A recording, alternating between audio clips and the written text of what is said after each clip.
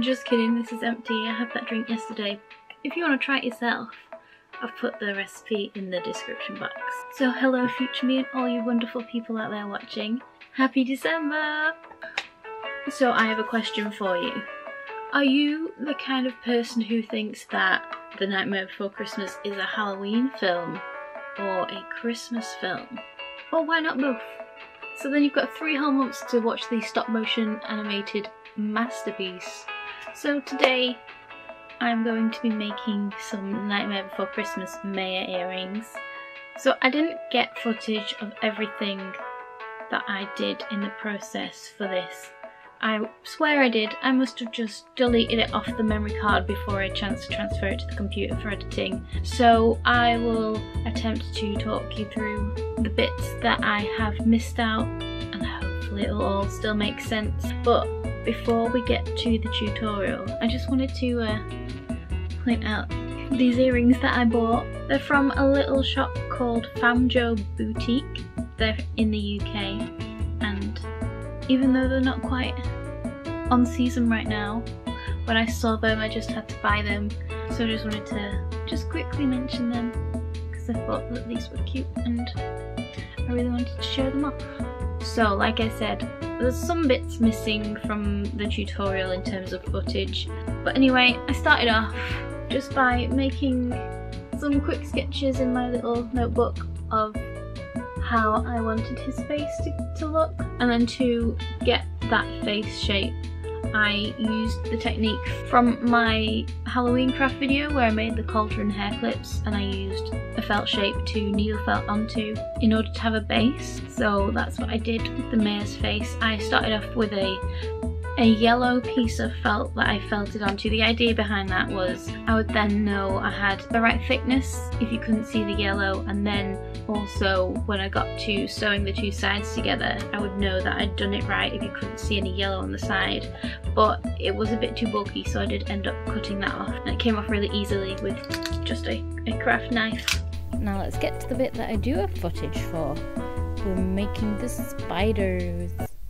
I've got a silicone mold that I've used for resins. Please excuse the mess in it. So this mold has pairs of different sized shapes and so I picked two of the right size that I needed and pressed some black polymer clay into them and I carefully used a straight blade that I have for my polymer clay to cut off as much of the excess as I could flush against the level of the mould and then very carefully popped them out. Once I'd done that, then I eyeballed a smaller circle for the spider's head. The method that I did with this was to make one full sphere of polymer clay, but like a really small dot, and then cut that in half. So then I had a flat cabochon type piece, and it could bake on that flat side. Then I moved on to making the spider's legs. I used one of the rolling guides that I have to help roll out this one long continuous piece of polymer clay. Then I just laid it down onto my drawing to make sure I've got the correct length. Then I used that one piece as a guide to cut out the rest of the legs for that middle leg. Then I repeated this for the other two legs. Once I had all of my different lengths, I then placed them on the drawing and carefully followed that bend in the leg and pinched it in place. Once all these were done, I put them on a baking tray to put in the oven and I just baked them at the manufacturer's guidelines, which for this Fimo soft polymer clay was, I believe, 120 degrees Celsius for 30 minutes. That's what I baked them at anyway. And they came up perfectly fine. So this is how all the pieces look now that they're baked. So let's put one of them together. You'll see that the legs are a little bit too long, so I just need to go through and cut off all the excess. I'm just going to use a piece of acrylic to put over my template so that I can protect that drawing from any damage and just use a little craft knife to cut off the excess length from the legs. Now I've got some 320 grit wet and dry sandpaper, just using that to sand down the backs of the head and the body piece. Just a bit of flashing on the body piece from the mould. So I'm just going to sand that down so it sits nice and flush on the shirts later on. I'm also going to sand down one of the sides of both the head and body piece so that they sit nicer together. You'll see that they don't sit very flush together. They look a bit like a, a snowman. So I just sand it down and they sit together very nicely. I'm going to just check how the legs all fit on before I glue them all together with a bit of super glue. I did have to cut some slivers of the legs off so that they would fit together nicer. I then took one of the spiders and used it to redraw the template for the mayor's shirt drew around one of the face shapes just to get that shape laid down and then I used the spider to outline the area where that would sit so I would know how much room I had left to create the collar. So this is just a rough sketch. I do neaten it up a bit and make it more symmetrical. So the green pen is the shape of that base of his shirt, you'll notice that I want to sandwich the top of that shirt between the two sides of his face. And the orange pen is what I want his collar to look like. Now I'm going to write on this collar piece, fold, but we're just going to ignore that. I don't actually put this on the fold. It was just an idea that I had that I would create this collar piece that would wrap around the sides of the shirt and create this collar, but it turned out way more complicated than I thought it would. So I scrapped that idea and just used that shape to create the collar out of four separate pieces. So this is the neater version. I'm just placing the face shape on top and a spider just to see how it looks. So I know that I've got the right shape.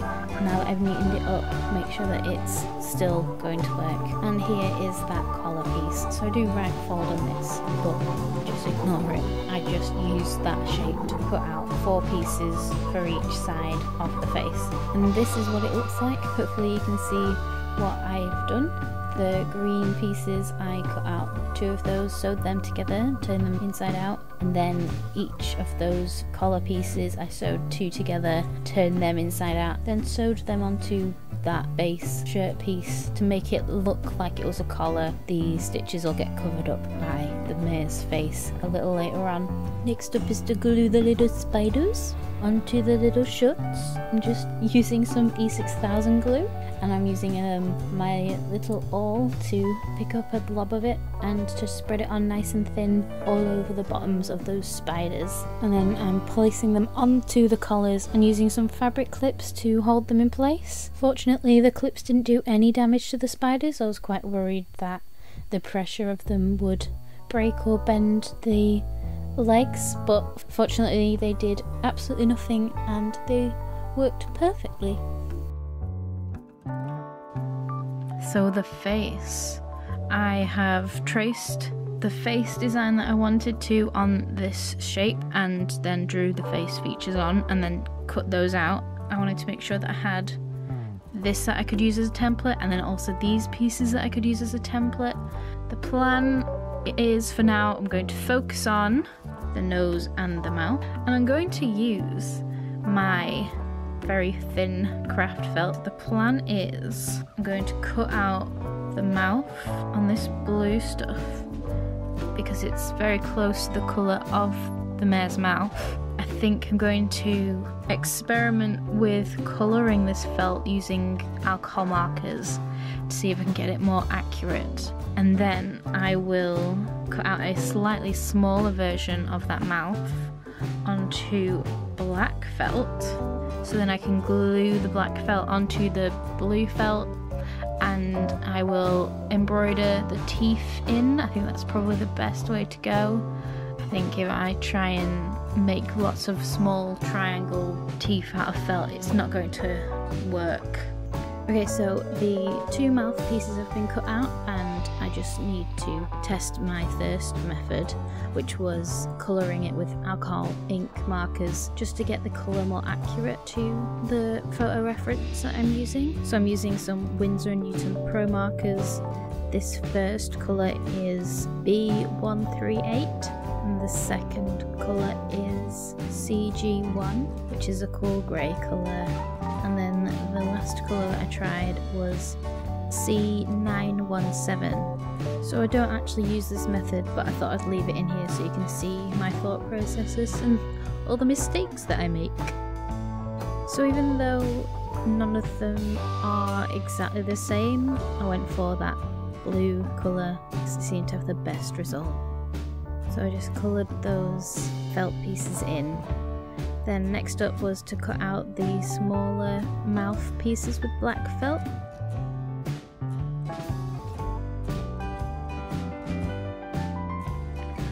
Okay, so I have some paint and I'm gonna paint the teeth and darken the lips a little bit with some acrylic paint because I realised that because I'm using felt and an alcoholic marker. This isn't drying, and I kind of feel like if it was to get wet, the colour will run out of the felt and bleed onto the felt base of the face, so probably not a good idea to just use alcohol markers. So I'm going to water down that blue paint and I'm going to mix a little of that medium flesh colour into the white to have a teeth colour and we'll give that a go. We'll use a nice little brush and paint that on. So like I said, I didn't use the alcohol markers to colour the blue felt. I ended up watering down some blue paint and used that to apply a wash to the felt to give it a bit of colour and the pointy teeth for his mouth. I needed to make a colour that wasn't white, so I mixed some white with a peach colour and some yellow, and it gave me a nice natural teeth colour to use. And I just painted those teeth on. So I started in the middle so I could make sure I could get the correct number of teeth and I could fit all of them in evenly. If I'd started in at one side and tried to work my way across, I would have probably found myself trying to force the last few teeth into a too small space and it would have just looked really weird and wonky. So starting from the middle was a good idea. So a quick roundup of the things that I've done so far. Glued the nose onto his set side. The teeth are dry, just need to glue those onto the mouth using some E6000. And then the spiders are glued onto the little shirts. And I've added some eyes and that little red dot onto the backs.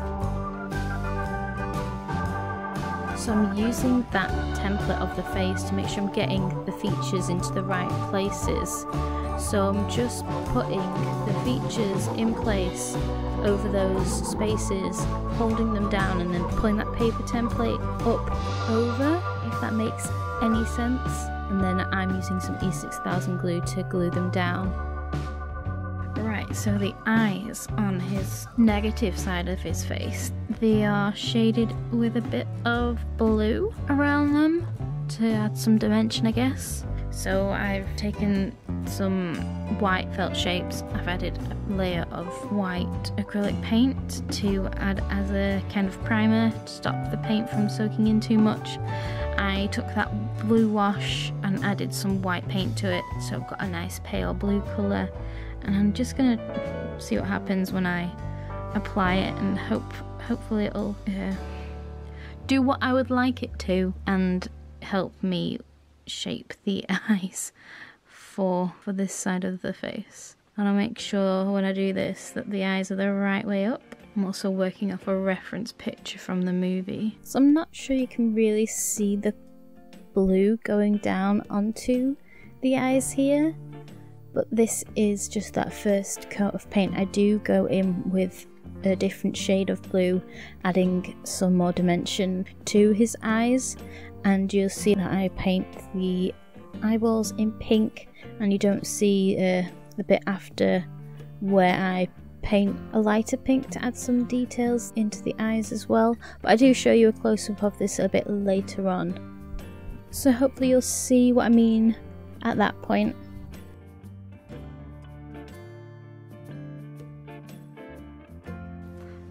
So I'm to get started on the happy side of the face. I've only cut out one eye because I've decided I will embroider that eye on and maybe paint it as well. Because if you look at this, which is a picture of the actual prop from the movie, you can see some yellow being used to highlight the uh, spiral of the eye and then also on that little curve above and below the other eye. So I'm gonna put it all together on the this side of the face and decide whether I want to paint some yellow. I'll make a decision when I get to it on whether or not it's going to be paint or embroidery but I'm definitely going to apply that spiral directly to that this side of the face rather than creating a felt shape and then sticking that on. So we've got to the happy side now, and I don't have all the clips of this, so I'll just talk you through the things that I've done off camera. So the mouth is just some white felt that has been painted the right colour, and I'm just gluing it down here and with the teeth I just did the same thing that I did on the sad side of his face where I painted the teeth onto some black felt. This is about three layers of white paint and I was going to do the details of each teeth with embroidery but it just didn't look right so that got pulled out and I painted teeth on. The embroidery just made it look too stiff, I guess, and the paint helped make it look more cartoony, which was an element I wanted to try and preserve. So I'm trying to be as neat as possible, and I'm following the reference for the picture to make sure that they're going at the right angles and actually look like his teeth.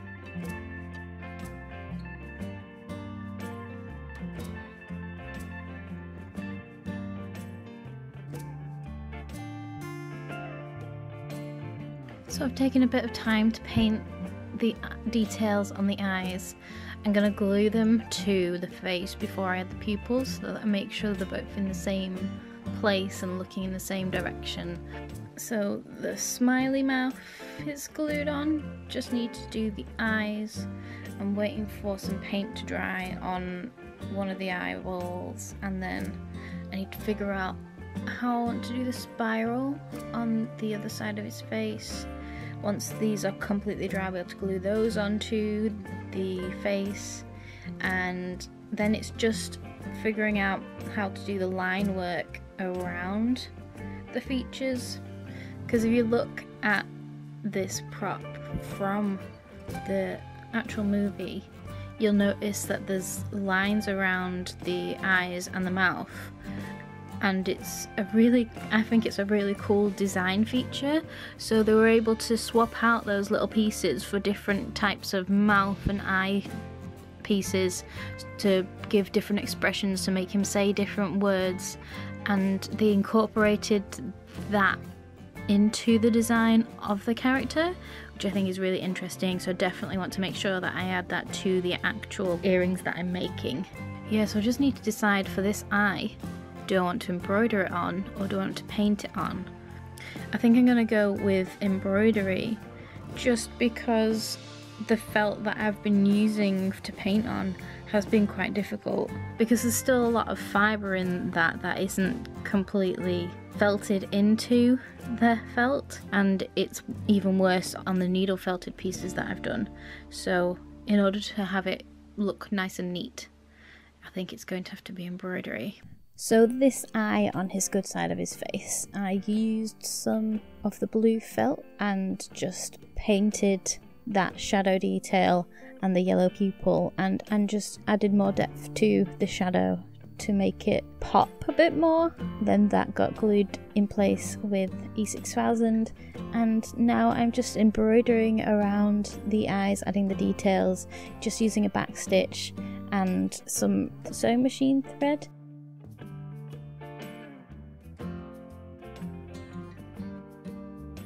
So I'm trying to eyeball the spiral eye that he has. So I do try to draw it on with some pencil, but it doesn't quite show up I did have to go back and remove some stitches just to make sure it was looking exactly how I wanted it to. Also, Tim Burton's spirals tend to have like a, a, certain look to them, which is what I wanted to try and imitate here. So I'd be very careful and making sure that parts of the lines were slightly thicker than the others and just get it to look right.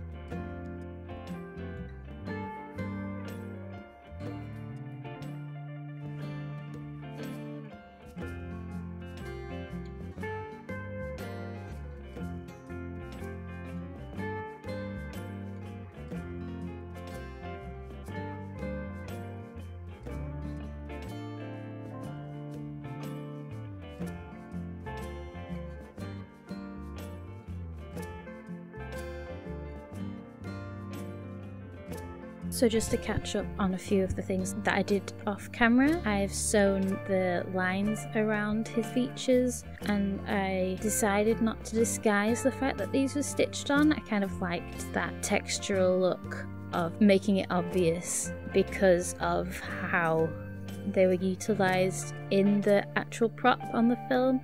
I've also glued the collar on and now I'm just using a kind of ladder stitch to sew the two sides of his face together. It's not a, a straight up and down stitch. I put the needle through the felt at an angle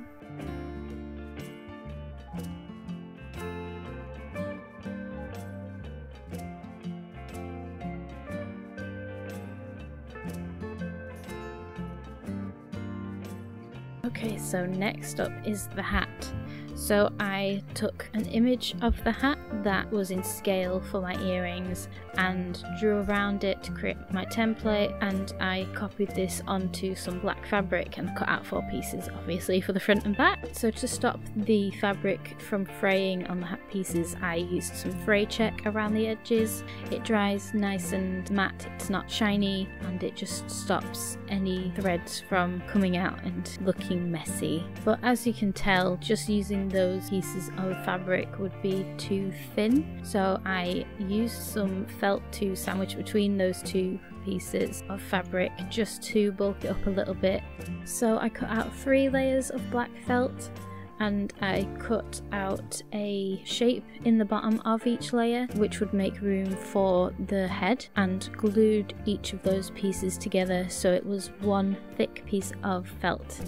Then, once that had dried, I glued on one of the hat pieces. I used the mayor's face to make sure I was getting the level of the hat right, and then cut around that hat so that the felt was the right shape. Then I used a needle and thread to sew the mayor's head into his hat. Ideally, I would have liked to have added a like mechanism in hidden inside his hat where I could switch his face around whilst I was wearing the earrings. So I would have cut a channel in the middle of the felt to make room for something that could like turn whilst I was wearing them, but I have left it so that if I find the ideal thing to use, I can just remove the hat and create another version of it and put it back together again. One thing I wish I did was use a different type of glue to glue the fabric part of the hat onto the felt. I used some E6000 and it seems to have sunk through the fibres of the fabric and it's kind of made it a bit shiny in places but I think I can fix that by painting over it which I think I'm probably going to do. Right now I haven't done it, you'll see at the end if I've done that or not. So, one deviation from the film that I have done is to make his hat significantly shorter. So he has he has a, a little Quakers hat. I, I only made it smaller because of how ridiculously tall his hat is in the movie. I didn't think there'd be any way that I could make reasonably sized earrings whilst also having such a big hat. So I took creative liberties and made it a little bit smaller. And here they are, finally done. They took quite a while, mostly because I'm still working. I I haven't had any time off in the pandemic, so I'm still having to go to work. And these things just take time. I am sleepy most of the time, so crafting gets put on hold whilst I have naps. but yeah, The um, hat is purposefully, purposefully uh, a bit messy so that when I look at them in like a year's time or so, I'll remember, oh hey actually I wanted to do that thing where I made his head spin around so so I have some incentive to uh, make them look a bit nicer. And as you can see they are huge! I know I haven't got like, I know I've got like a, a short neck but still they are really big uh, but if I'd made them any smaller I don't think I would have had the patience to finish them. These wouldn't have ended up being done, but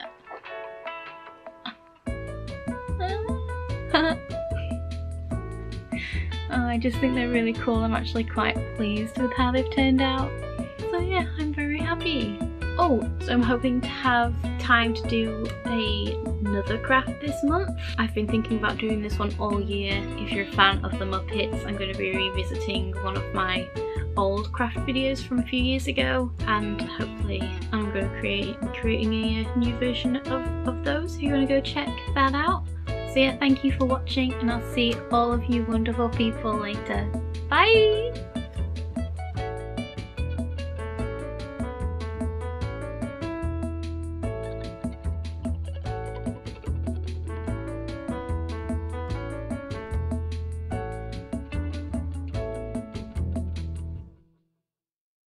Happy December!